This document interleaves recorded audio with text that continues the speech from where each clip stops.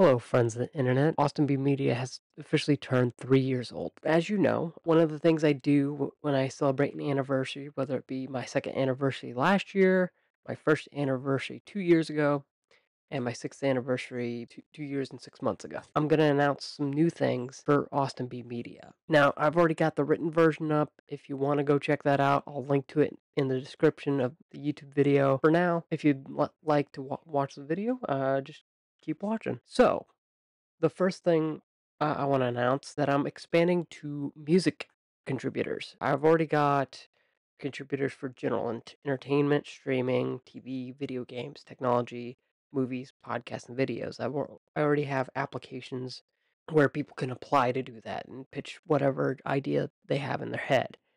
Now that I've had success with Christian Salazar and Beta Critic, their their lovely reviews have enabled me to kind of expand into music where I think I don't have the knowledge of music to really speak intelligently about that topic without just saying this one's a bop, this one's not.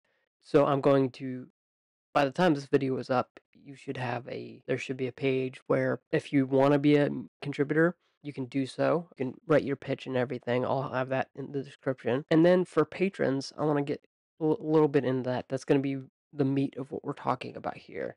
But first, I want to talk about returning patron exclusives. Back in January, I removed monthly hangouts and behind the curtain episodes from the benefits that patrons would receive. All of these benefits are going to return as you're watching this. In fact, I already put out a monthly hangout availability survey on the Patreon, so go check that out. So all of those will return immediately, as well as monthly Q&As, monthly bonus episodes of the Austin B Media podcast, and I'm going to be resuming movie and TV commentary, starting with Chile 76 and The Cow Who Sang a Song into the Future. Indie picks, I know it's not like a Marvel movie or something like that, but I these are going to be representative of the kinds of films I watch and not just, hey, what's popular. So I thought that was also important when deciding what the first round of commentaries would be. Then getting into kind of the new patron exclusives, I'm going to be introducing a bunch of new exclusives for patrons.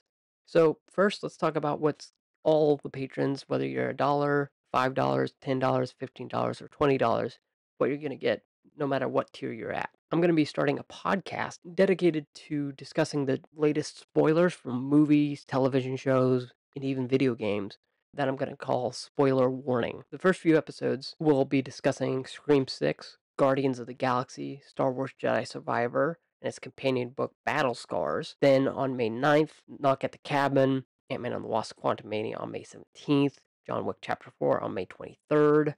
The first three episodes of Apple TV Plus's uh, show Platonic on May 24th, and Ted Lasso Season 3 when it wraps up on May 31st. Another thing that all patrons are going to receive are going to be monthly feedback surveys that are primarily focused on how satisfied you are with my Patreon. If you're not a patron, don't worry, you're going to get surveys too. It's just going to be quarterly and mainly focused on the website or YouTube or other things that I've just been wanting to hear your opinion about.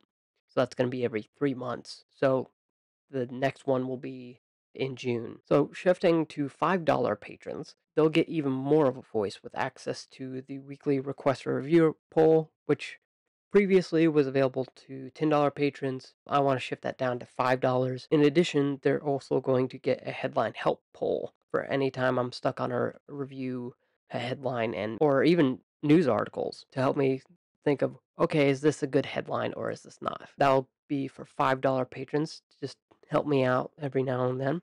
For $10 patrons, this is a totally optional thing, but the first new benefit you'll get is a monthly thank you in the form of a video, recording, or an email. Obviously, you can opt out of this benefit at any time. It's not replacing the existing patron shoutouts in any way. All this benefit is is a way for me to directly thank you for your support. That's all it is. And I think doing a video or an audio recording or an email just once a month might help to to just thank you. Then $15 patrons get the added benefit of watching me record the Austin B Media podcast live. And then for $20 patrons and above, um, I don't necessarily have a benefit for you at this time, a new benefit. I mean, I'm I uh, I was working on something that would have been really really cool. It was going to be something where you saw my in progress content. It just wasn't ready for the prime time. So once it's ready, I'll publish another one of these updates detailing what it exactly it is. I just haven't worked out all the kinks yet. To recap, all patrons get monthly hangouts, spoiler warning episodes, and monthly patron feedback surveys. $5 patrons get a monthly bonus episode of the Austin B Media podcast, request to review weekly polls, and headline help polls. $10 patrons get monthly Q&As, behind the curtain episodes, and a monthly thank you, which is again completely optional. And then $15 patrons now get movie and TV commentaries, and access to live recordings of the Austin B Media podcast. Which you still you'll still get the recordings of the Austin B Media podcast after the fact. This that fifteen dollar thing is just just watch it live. And to help keep track of all the good stuff patrons get, I'm in the process of making a patron exclusives page on the website that's going to be organized by tier and the benefit that will be go- going live sometime this week. I, I'm still building it, so give me a bit of grace there. Essentially, if you follow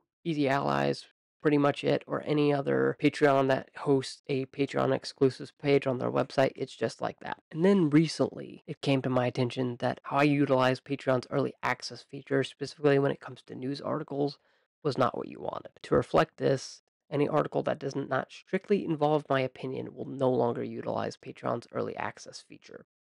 On a similar note, I'm also going to be testing out a shorter early access period of six hours or less during periods where timely coverage is required. Like, say, a film festival like Tribeca 2023, whether I'm tied to a review embargo or other very specific situations. It's going to be in very specific situations, and any reduction in early access will be clearly communicated to patrons. And then I previously talked about this in uh, a Patreon post um, so I'll link that post down below. But for those who don't know, Patreon is removing goals sometime this month. If you go to my Patreon About section, I have now put my goals in there. And to recap, those goals are once I reach $100 a month, that will cover all my review costs. Once I reach 276 a month, that will cover my hosting costs. Once I reach $480 a month, that will cover the podcast editor costs.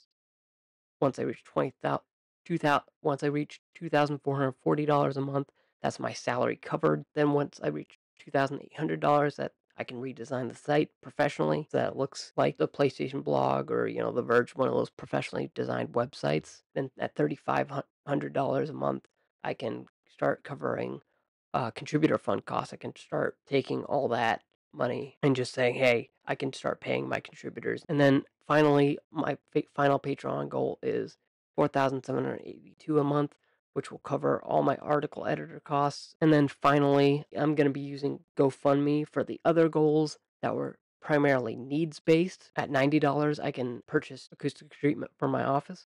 So I'm not relying on just the microphone to isolate my voice and editing software. At 125, I'll be able to purchase a green screen. 150, I'll be able to purchase a chair instead of sitting in whatever is available to me. At $200, I'll be able to record gameplay. So I'll buy, buy a capture card for that, those purposes, and possibly even use those to record movie commentaries and maybe use some, some of those clips for movie reviews too. And then at $310, I get to purchase a new monitor. Finally, uh, I'm going to be retiring merch for now because while I introduced it on Black Friday, um, the experiment just didn't succeed. Instead of paying to keep everything up, I am going to remove the option to purchase said merch pretty much as soon as you're watching this video.